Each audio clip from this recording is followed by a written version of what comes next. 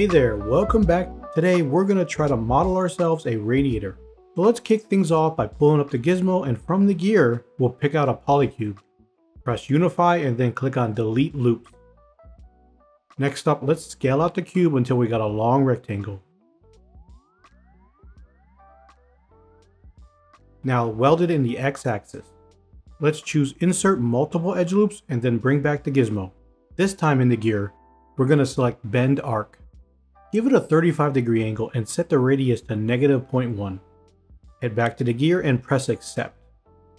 Let's give this a little bit more thickness in the z-axis. Press QC50 and set the smooth subdivisions to 1.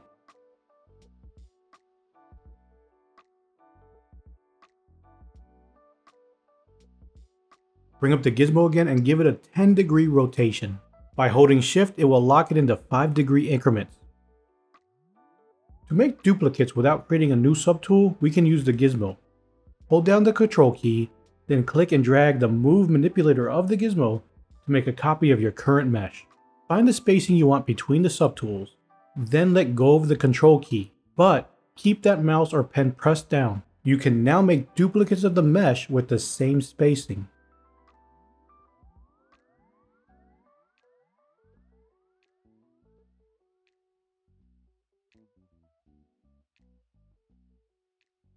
Bring up the gizmo again and pick the polycube from the gear. Press unify, then clear those loops with delete loops. Unmask the bottom and bring it up slightly. Then unmask the side and move it outwards.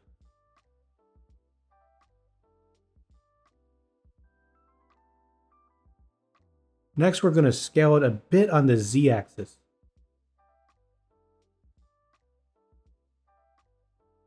Choose Insert Multiple Edge Loops, then Alt tag the three polys and Q-mesh them right through.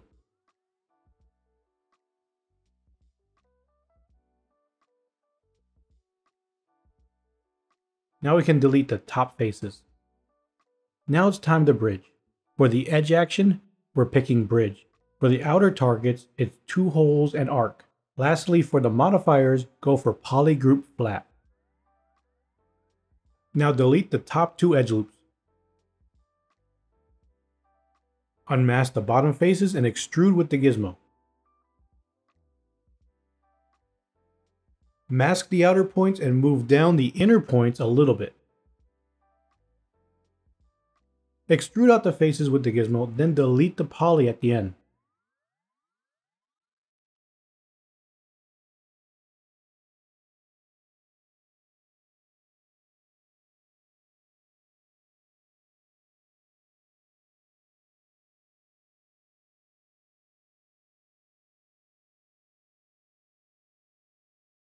Let's go ahead and open up the array mesh.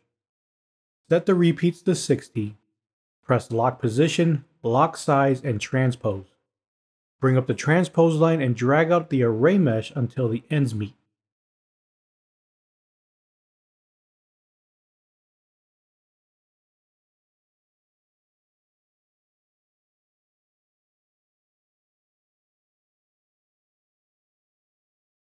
Now we can click Make Mesh and turn on Dynamic to check out what needs welding. Go ahead and click on Weld Points, then press Uncrease All and then Crease PG. Switch back to the gizmo by pressing Y and pick Bend Arc from the gear. Give it a 35 degree arc, then hit Accept to lock it in. Now set your smooth subdivision to 1. Bring up the gizmo again and rotate it 10 degrees.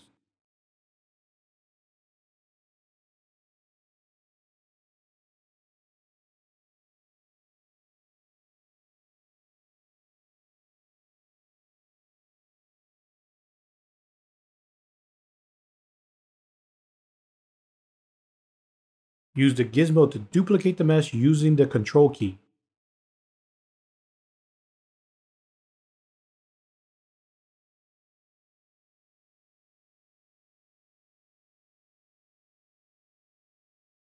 Go ahead and press Ctrl W to group visible. Bring up the gizmo and from the gear, we're going for Polycube. Now we can click Delete Loops. Scale it down and unmask the bottom face. Grab the gizmo and move it down.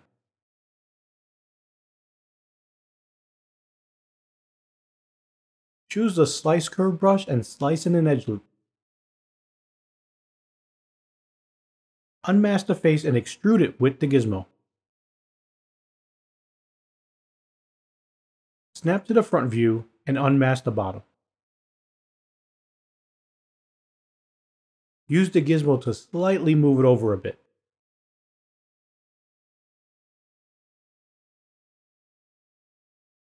Choose the Slice Curve brush again and slice in another edge loop. Unmask the face and move it out with the gizmo.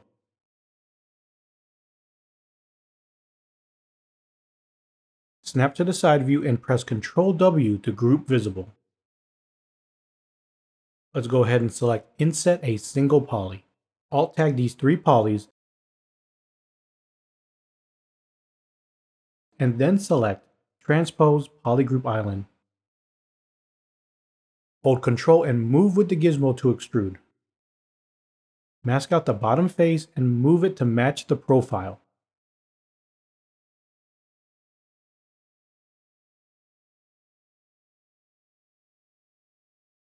Add in a couple edge loops with insert multiple edge loops. Alt tag the nine faces on both sides and inset them. Go ahead and unmask the polygroups and run a polish by features. Bring up the gizmo and adjust the polygroup.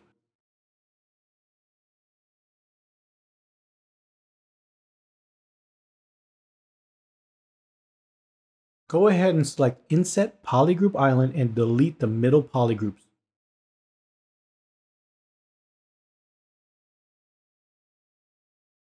We're going to be bridging again. For the edge action, pick bridge. For the target, it's two holes and one line. And for the modifier, go with polygroup flat.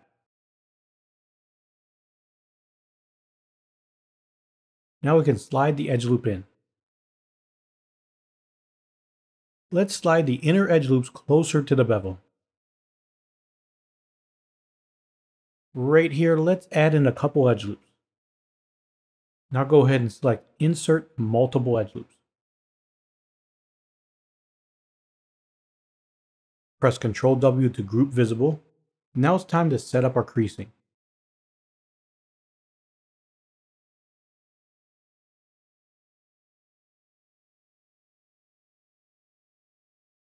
Set the crease level to 2. We want to add in some supporting edge loops to keep the crease fall off consistent.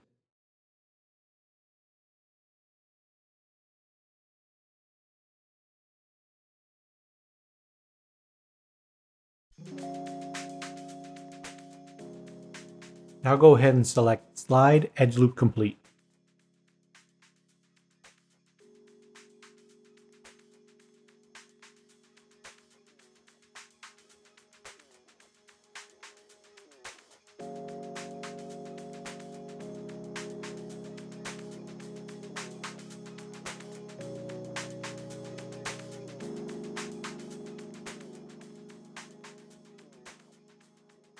Bring up the gizmo again and let's pick Polycylinder 3D from the gear this time.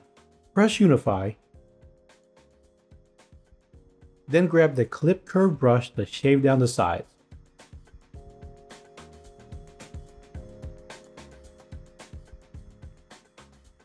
Now we're going to inset the flat island.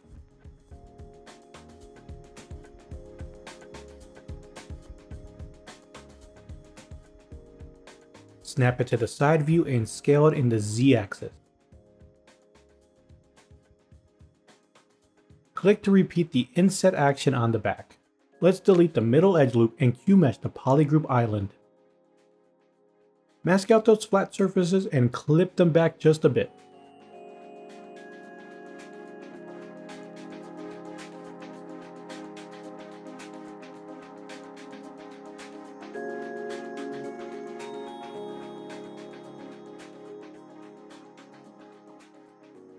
Weld in both X and Y to even out our clipping.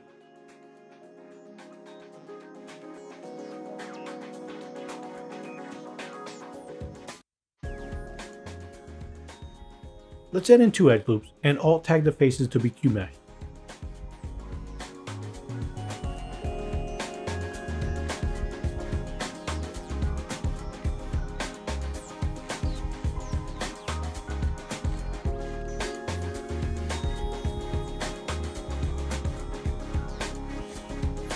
Now select Mask, Polygroup All. Go ahead and grab the Clip Rectangle brush. Once you're set, hold Alt and you can clip those polys out to the Clip Rectangle border. Let's collapse those edges to get rid of the extra polys.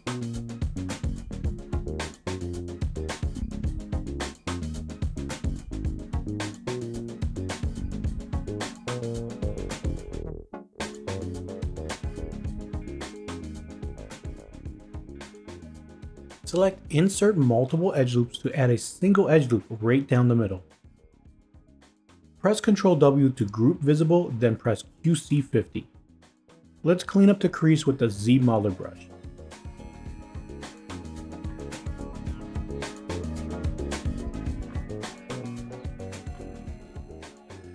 Now we can set the crease level to 2. Let's add in a few more edge loops to help control these angle changes.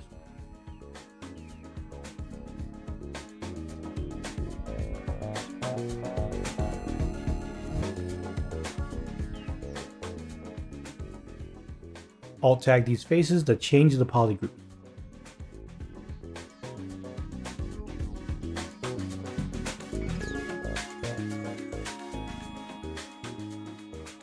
Now unmask these polygroups and run a polish by features.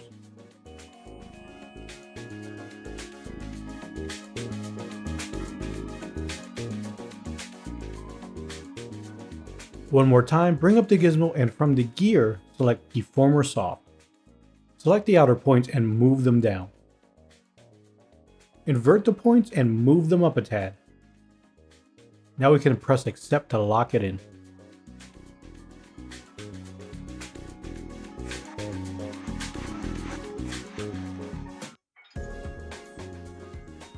Bring up the gizmo and from the gear select Polycylinder 3D.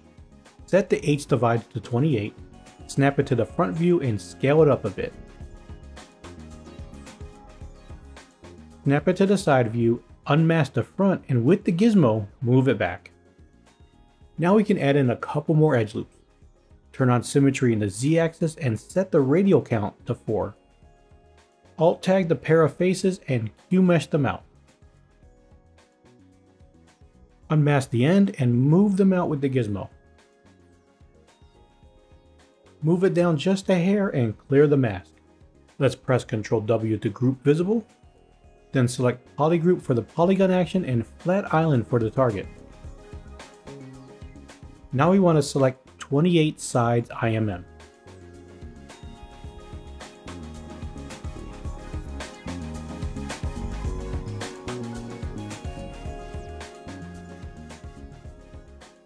Head back to the Z-Modeler brush and delete the extra edge loop. Add in a few edge loops and then press QC50 and set the crease level to 2.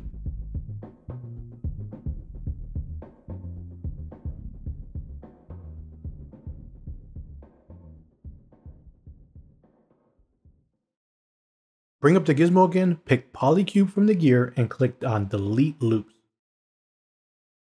Now start masking points and use the gizmo to create the base shape. Grab the slice curve brush and add an edge loop. Unmask the edge loop and move it forward a bit. Clear the mask and add in four more edge loops with the slice curve brush. Use a bit of masking and the gizmo to fine tune your model to better match the reference.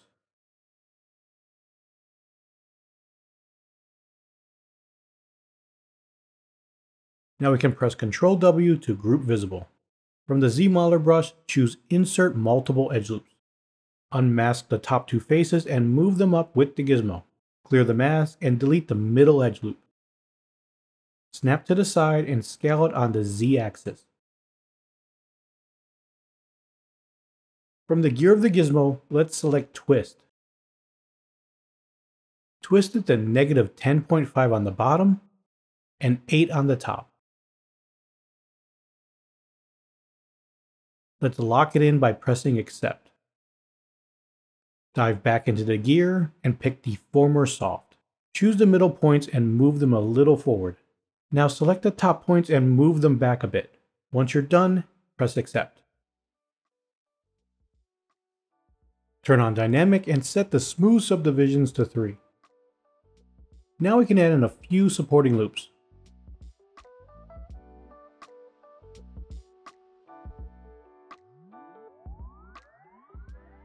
Select Transpose Poly Loop and push it in a tad.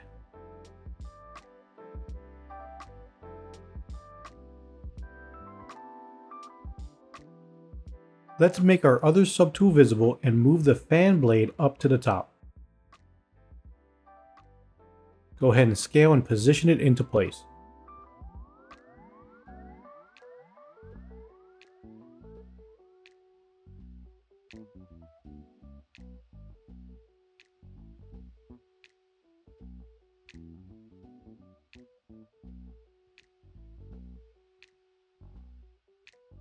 Let's turn on array mesh and set the repeats to 8.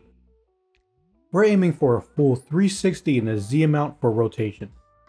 Also, let's lock the position and size and then turn on transpose. After bringing up the gizmo, hit Y to switch to transpose mode. Go ahead and move the pivot to the center.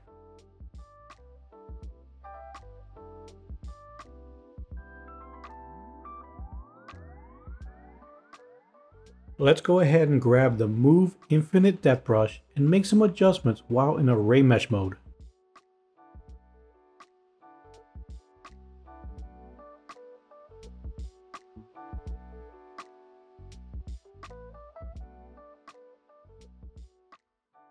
Unmask the top and run a very light polish by features. Time to finesse the curvature a touch more with the Move brush. When you're happy, press Make Mesh to seal the deal.